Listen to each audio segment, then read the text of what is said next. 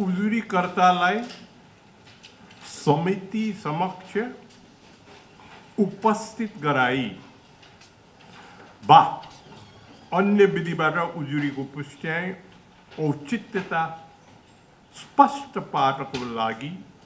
आमन्त्रण गर्ने प्रस्तावित व्यक्तिलाई आमन्त्रण गरी छलफल गर्ने र सुनवाई प्रक्रिया सम्पन्न गर्ने लगायतका विषयहरूका सम्बन्धमा संसदीय सुनवाई समितिको कार्यविधि दुई हजार अस्सीको दफा पन्ध्र बमोजिम सचिवालयबाट प्रस्तावित कार्यतालिकाले परिमार्जित सहित पारित गरिदिन हुन अनुरोध गर्दछु समितिको अर्को बैठक दुई दुई हजार असी साल जेठ एकतिस गते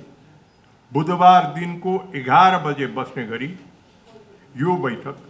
स्थगित हुन्छ